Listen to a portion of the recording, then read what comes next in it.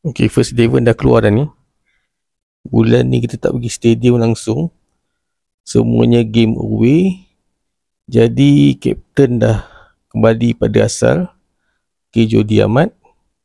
Lepas tu, keeper macam biasa kita ada Shihan.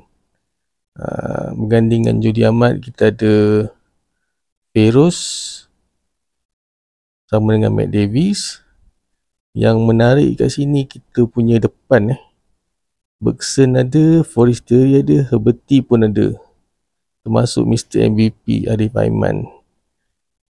Jadi kemungkinan besar ada empat orang kat depan ni striker ni dengan tengah kita ada dua orang, Hong Wan dengan Oscar Ribas. Jadi first semi final Piala FA untuk kita dapatkan double treble.